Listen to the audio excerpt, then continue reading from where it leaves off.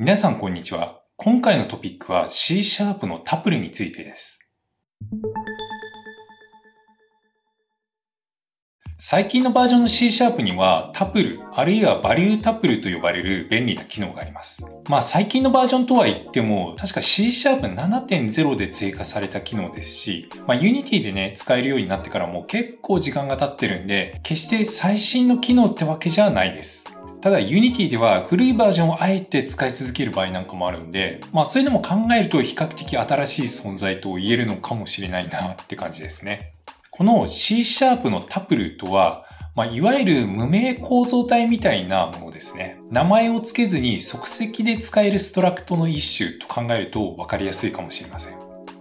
一番基本的な形はこんな感じになりますね。カッコ、型、カンマ、型、カッコと並べてタプルの型を定義できます。値も同様に、カッコ、値、カンマ、値、カッコっていう感じで並べて作ります。そしてこのタプルをタプルに代入という感じですね。要素を参照するときは添え字じゃなくてアイテム1とかアイテム2とかいうようにメンバー名を使います。左から順にアイテム1、アイテム2、3、4、5というふうに自動的に名前が付けられます。ただ実際にはこういうアイテムホニャララっていうデフォルトの名前を使うことはあんまりないと思います。こういう風に型を作るときにパワーとかカウントとか明示的に名前を付けることができるようになっています。値を取り出すときにはここで付けた名前を使うことができます。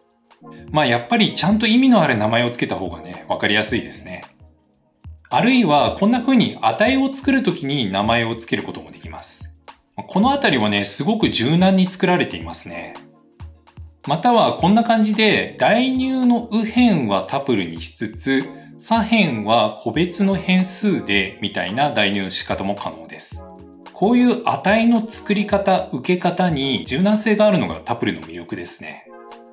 こんな風に便利なタプルなんですが、使用場面としては、例えばメソッドから複数の値を返したい場合なんかに使えます。例えば、こういう自作のコリジョン判定のメソッドがあったとします。中心座標と半径を与えると、ヒットの有無と、あとは接点を返す、みたいなメソッドですね。この形で個人的にいまいちだなと思うのは、接点を受け取るのにアウト引数を使っているところですね。例えば、このメソッドを呼ぶ側のコードは、こんな感じになると思うんですよね。ここで前もってベクター3の変数を用意しておかないといけません。この、まあ、まだ使うかどうかもわからない一要素のために変数を作って、アウトをつけて渡してってやるのが、ななんかちょっとね、イレギュラーな感じがして、ちょっとなぁと思ってしまうんですよね。まあ、そんな時はですね、こうやってタプルを使えば、結果をすべてリターンの中にまとめることができます。このメソッドを呼ぶ側のコードは、こんな感じで1行ですっきり書くことができます。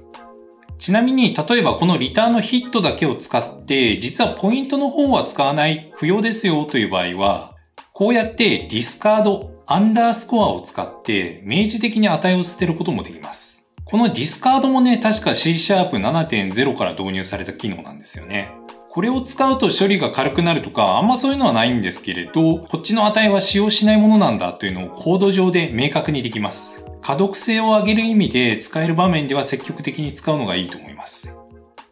こんな感じで便利なタプレですが、最後に小ネタを一つ紹介したいと思います。プログラミングに関するクイズとかで変数の A と B を入れ替える、まあ、いわゆるスワップ処理をどう書いたらいいかっていうのがたまに挙げられると思います。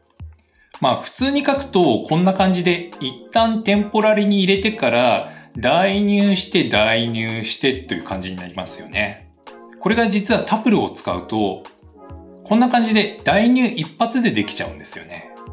まあこれ最適化にもちょっと影響を与えうるんで全ての場面でお勧めできるもんではないんですけれどただまあゲーム開発とかね、グラフィックス関係のプログラミングやってると、値のスワップってちょくちょく出てくる処理なので、まあそんな時にこれを使うとね、すっきり書けて便利だったりします。まあ小ネタとしてね、覚えておくといいかなと思います。こんな感じで今回は C シャープのタプルについてお話ししてきましたが、いかがでしたでしょうか？このチャンネルではこういう純粋な C シャーププログラミングのトピックを取り上げる機会は少ないんですけれど、まあ、Unity をね、使う上で C シャープっていうのは必ず出てくる要素ですからね。今後も何かネタが見つかれば紹介していきたいと思います。